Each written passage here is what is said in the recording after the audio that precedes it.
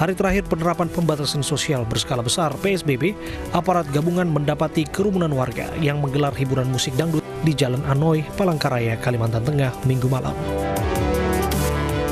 Pemilik rumah beralasan acara hiburan dangdut digelar sebagai bentuk silaturahmi di hari lebaran, mengikuti kegiatan yang dilakukan warga lainnya. Petugas menyita kartu identitas pemilik rumah dan berikan teguran keras karena menggelar acara musik keluarga katakanlah ya habis habis Ramadan ini kan hmm. anu menyamperin aja lah silaturahim sama sama oh, gitu.